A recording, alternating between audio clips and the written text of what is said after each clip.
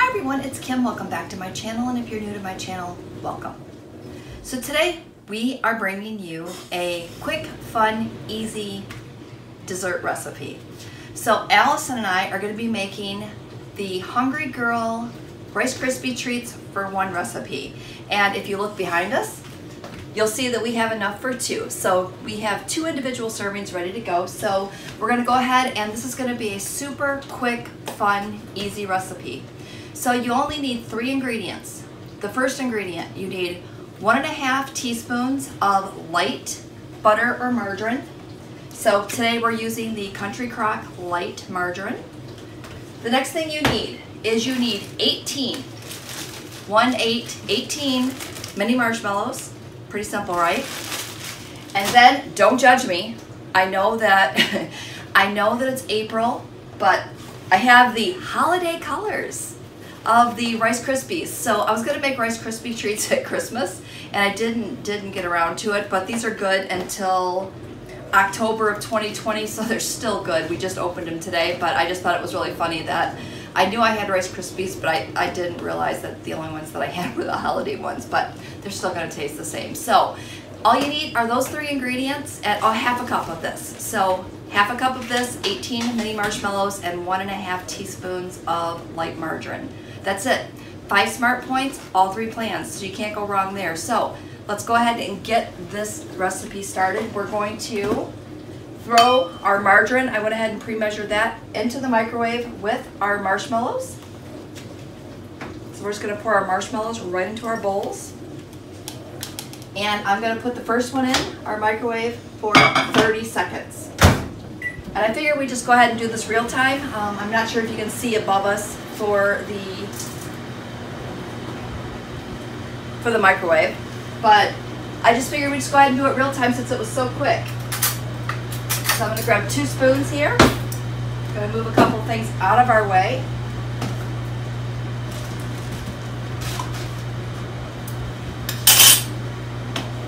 I'm gonna double check the camera angle really quick. I might bring you guys in closer, so just bear with me one moment. I'm stopping it. Okay, so I'm gonna pull the first one out of the microwave, and this is what it looks like. So I'm gonna set this one down. We're gonna pop the next one in. Hopefully it's not too loud.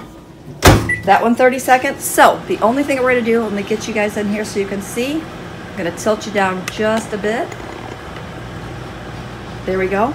So the only thing that we have to do now is we have to just mix the cereal in with the Rice Krispie or with the marshmallows and the butter. And that's it. And then we're just gonna press it all together and bam, you have a Rice Krispie treat. How cool is that? So what you're gonna do is you're gonna press it down in your bowl once you get it all mixed together. And then we're just gonna press it down and you're gonna let it cool for 10 minutes and that is going to form your Rice Krispie treat. I'm just gonna pull hers down. We're gonna do the same thing. She's gonna pop it in. She's gonna stir it up. And I told you guys this was gonna be quick and easy. I mean, you can't go wrong. So I'm gonna go ahead and press mine down just a little bit more. And then I'm gonna set this off to the side and just let it cool down. Once 10 minutes is up, then we're gonna come back and we will show you our finished product. I'll probably just pop it out onto a plate. How's yours coming over there, Allison? It's like stuck.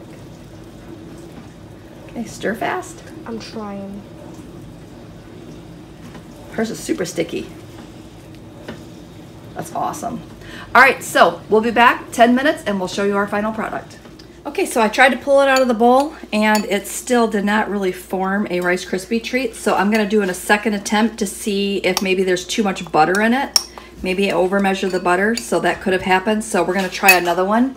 So I went from one and a half teaspoons of butter to one teaspoon of butter. So this is what we have.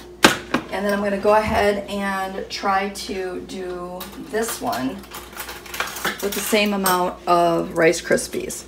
Maybe I should stir this first. Let me stir that first and then maybe put those in see if that helps.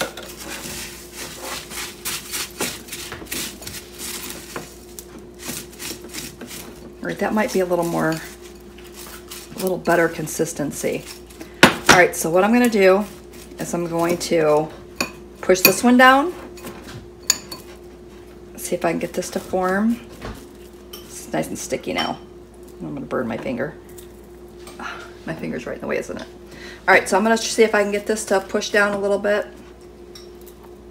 and see if this one will form a, a better Rice Krispie treat for us. All right, I guess that's good. Ah. All right, so I'm gonna try to get this pushed down and then we'll go from there. I'll be back in 10 minutes, another 10 minutes, and we'll see if this one works out better. There's gotta be a trick, right? My fingers are sticky. All right, so there we go. Sorry if it's off center a little bit. Let's see what happens. Okay, so what do you think? Do you think we have a success or not? So I'm gonna put a plate out here. Gonna grab my fork back. I haven't touched it. So let's see. Ooh, this one's better.